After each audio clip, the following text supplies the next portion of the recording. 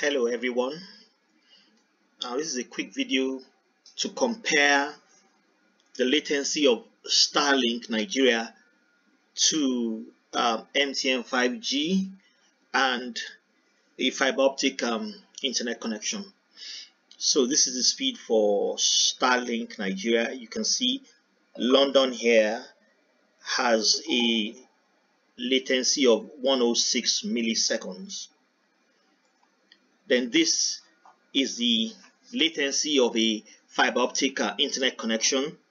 Here, London has a uh, um, latency of 95 milliseconds.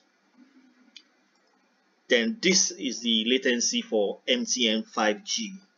London has a latency of 129 milliseconds. So basically, when we compare Starlink with the other internet connections, it is basically better than all the other uh, wireless connections in terms of latency, but it still falls short when you compare um, Starlink with um, fiber optic uh, internet connection. Thank you for watching.